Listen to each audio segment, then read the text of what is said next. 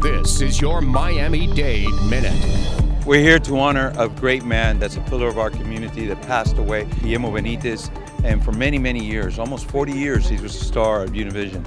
He's one of those guys that uh, is an incredible person. You can't say enough of a, a person like Guillermo Benites.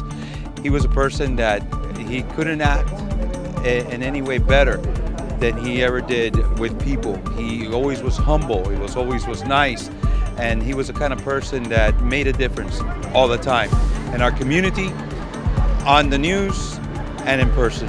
So today we're here honoring by making this piece of 36th Street uh, Guillermo Benites Way, and I'm very honored to be able to to assist in making this happen.